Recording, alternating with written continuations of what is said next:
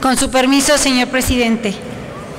Compañeras y compañeros senadores, las iniciativas del presente dictamen transforman a Pemex y a la Comisión Federal de Electricidad en administradoras de contratos a los que ya no se les da el trato de empresas al Estado. Esto es preocupante, puesto que, como bien sabemos, Pemex aporta el 35% de los ingresos totales del gobierno federal, lo que la convierte en eje y sustento de muchos proyectos de desarrollo nacional. En síntesis, este dictamen consuma la estrategia de desmantelamiento del sector energético que desde hace más de 20 años se han venido planteando los gobiernos neoliberales. Primero, en 1992, Carlos Salinas llevó a cabo una reforma a la Ley Orgánica de Petróleos Mexicanos y organismos subsidiarios con la intención de hacer más eficiente a la empresa y descentralizar sus funciones. Es obvio que esto no funcionó. En 1996, Ernesto Cedillo reformó el marco normativo con el objetivo de diferenciar entre petroquímica básica y la reservada en exclusiva al Estado o secundaria, donde pueden participar empresas particulares. Esta reforma debilitó la capacidad de nuestro mercado interno por la creciente importación de petrolíferos y precursores químicos para la industria. Es decir, se atendió al negocio de los particulares y no al interés de la nación. En 2008, el gobierno calderonista dio a conocer la llamada reforma energética, en donde se plantea que en términos de la eficacia y la eficiencia, Pemex podría incrementar la participación de proveedores y contratistas nacionales en obras, bienes y servicios necesarios para la industria petrolera. Como puede verse, todas esas acciones únicamente han atendido, atendido la receta neoliberal que limita los alcances del Estado dentro del sector y se ha relegado a la empresa a ser la financiadora del gasto corriente del gobierno federal. Y ahora se nos presenta este dictamen que termina de aniquilar a la paraestatal y coloca al sector en una situación que será insostenible ante la inminente entrada de empresas extranjeras que competirán en una clara situación alevosa por las condiciones en las que se les está preparando el camino.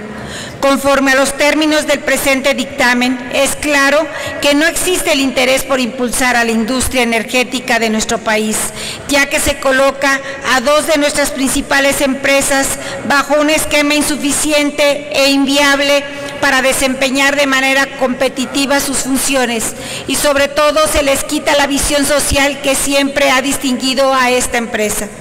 Al respecto, es importante señalar la importancia que tienen las participaciones de Pemex en el gasto social en muchos estados de la República.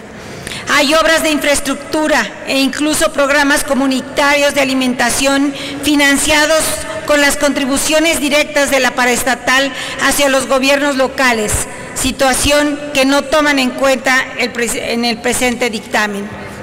Como puede verse, esta reforma, además de ser un saqueo económico, atenta contra la cultura e identidad de muchos mexicanos.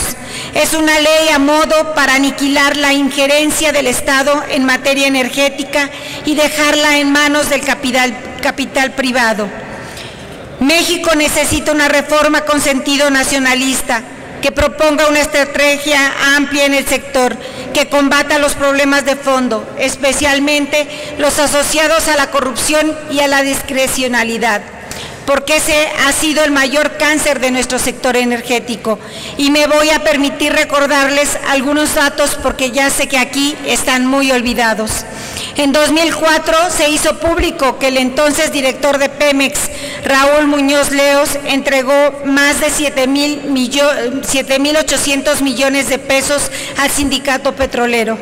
También en 2004, Amado Yáñez, accionista principal de Oceanografía, negoció millonarios contratos con el entonces secretario de Energía, Felipe Calderón, y con sus colaboradores Juan Camilo Muriño y César Nava, pretendiendo cobrar un préstamo con facturas apócrifas. En el mismo año se reveló el supuesto tráfico de influencias que los familiares de Marta Sagún obtenían de los contratos.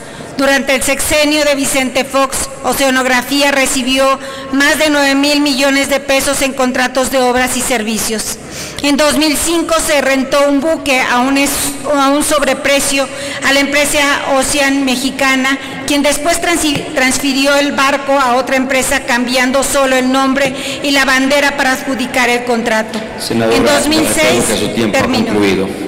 En 2006 se concedió una beca por 257 mil pesos con cargo a Pemex Alfredo del Mazo, hijo del exgobernador y exsecretario de Energía Alfredo del Mazo. En 2008 fue denunciado el hoy extinto exsecretario de Gobernación Juan Murillo, Juan Carrillo, Camilo Muriño, de obtener de Pemex contratos millonarios mediante los procesos de adjudicación directa para beneficio de su empresa familiar.